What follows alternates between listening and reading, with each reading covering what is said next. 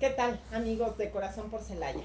Aprovechando de nueva cuenta la oportunidad de este espacio que nos, nos permite mantenernos en una información fluida respecto de aquellos temas que son de importancia y que se están tratando en el ayuntamiento y que por medio de esto ustedes pueden tener eh, una información muchísimo más directa y de viva voz.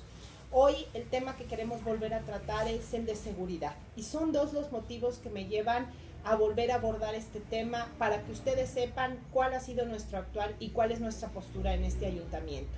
El primero, la intervención del ejército en los últimos días. Se habrán dado cuenta por medio de los eh, medios de información que en días pasados hubo operativos concretamente en algunos establecimientos mercantiles y que inclusive se lograron asegurar ciertos bienes, eh, inclusive eh, algunos este, narcóticos y algunos otros artículos de dudosa procedencia.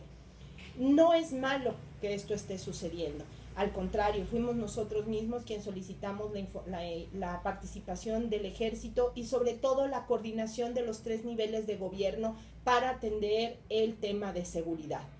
Pero todo ello debe de atenderse, debe de observarse y debe de llevarse a cabo respetando el marco de legalidad. Y hay varias disposiciones que obligan, en el caso de que el presidente municipal tome la decisión de coordinar el tema de seguridad con otros niveles de gobierno, de informar puntualmente a los integrantes del ayuntamiento. ¿Para qué? Para dar certeza del alcance y de los objetivos perseguidos con esta coordinación. Es decir, qué tipos de operativos se estarán dando, eh, dónde, cuándo, cómo, para garantizar lo que más nos interesa, la seguridad de los ciudadanos. Esto no se ha llevado a cabo y será una situación que plantearemos puntualmente en la próxima sesión de ayuntamiento. No podemos dejar ni permitir que se ponga en riesgo a los ciudadanos si no tenemos la certeza de qué mecanismos de coordinación se están llevando a cabo, insistiéndoles que esto no se ha informado al Pleno del Ayuntamiento. Dos, Hubo un tema recientemente en redes sociales monitoreando lo que está pasando en el municipio, donde hoy un restaurante hace una denuncia pública eh, convocando a la ciudadanía a que sea más precavido y mantenga eh, mucha atención en su seguridad debido a que ya se están suscitando en el municipio estos robos tan comunes por distracción, donde entra un grupo de personas y roban las bolsas de los comensales o los artículos que estos tienen en un momento de distracción.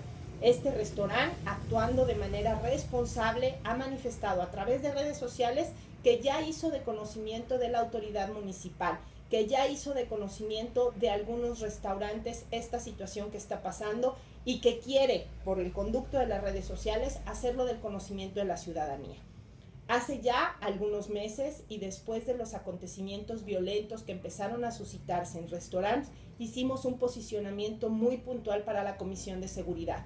Era necesario generar un protocolo eventual, temporal, para mantener la seguridad de los conciudadanos al acudir a lugares públicos.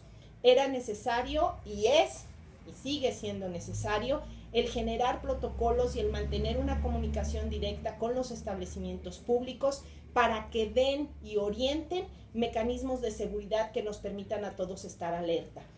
Esto es el ámbito de la prevención, es lo que nos toca a nosotros como integrantes del ayuntamiento. Desafortunadamente, a la fecha, esta petición no ha sido atendida y hoy ya nos enteramos que este tipo de robos siguen llevándose a cabo cotidianamente.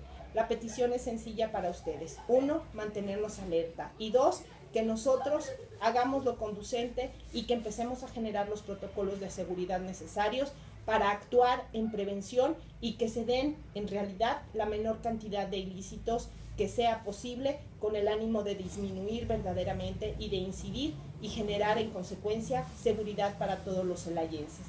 De corazón por Celaya, esta petición la haremos puntualmente y la haremos pública en la sesión de ayuntamiento, que es donde debemos de tratar los asuntos públicos. Espero que todos nos unamos a la exigencia de seguridad que merecemos los celayenses.